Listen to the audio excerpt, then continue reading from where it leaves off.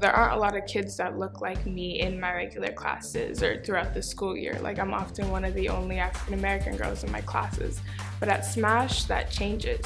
I wanted to apply to SMASH because I want to be an environmental engineer and learn how to own my own environmental engineering firm. Me coming in this program feels like an enhancement because I'm feeling because I'm just catching up.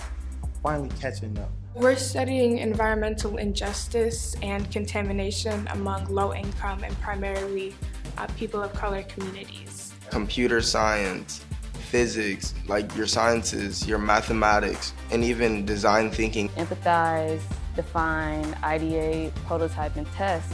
I was like, this fits into my category of what I want to be, and I was like, okay, I got this.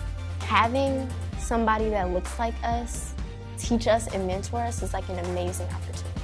I am first generation American, so I don't have those roots that my peers might, and don't have those connections that my peers might have. And Smash are those roots. Like Smash creates those roots for me, or kind of like plants the seed for me, so that I can have those roots later on. I've never even like heard of computer science before I came on came into this program, and I care about science. I care about math. I care about like getting into college. Like I care about my future.